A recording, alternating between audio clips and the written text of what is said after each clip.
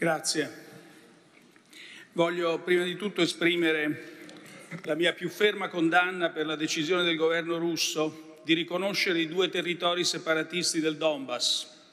Si tratta di un'inaccettabile violazione della sovranità democratica e dell'integrità territoriale dell'Ucraina. Sono in costante contatto con gli alleati per trovare una soluzione pacifica alla crisi ed evitare una guerra nel cuore dell'Europa. La via del dialogo resta essenziale, ma sta, stiamo già definendo nell'ambito dell'Unione Europea misure e sanzioni nei confronti della Russia. Signor Presidente della Repubblica,